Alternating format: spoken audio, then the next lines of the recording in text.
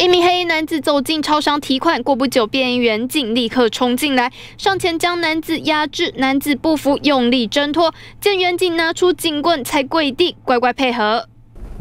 对面的你咪是啦，我这边大姐，都要大姐。警方获报诈骗车手来到云林斗六，锁定范闲车辆进行跟监。这来这？谁说啦？哦会不会会不会挂物件？手铐，手铐。二十八岁黄姓范闲在提款时上前将他逮捕，没想到男子一看到远景还反问：“怎么又是你？你不是被调走了吗？”原来黄姓范闲在一百零三年八月才在桃园一处诈骗机房被警方查获。远景持警盾用力撞门，把门撞开，冲进去逮人。一进去就闻到浓浓瓦斯味。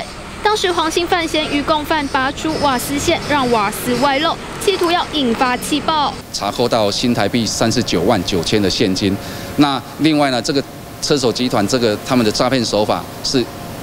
以传统的这个猜猜我是谁，还有网络的拍卖的拍卖网站的这网络拍卖的这诈欺的方式来诈骗我们台湾地区的民众。黄姓车手关不怕，事隔多年又重操旧业，没想到还被同一位员警逮到，而警方将他及其他共犯共四名车手全数逮捕归案。记者廖文斌、连元斌、林佳莹、云林报道。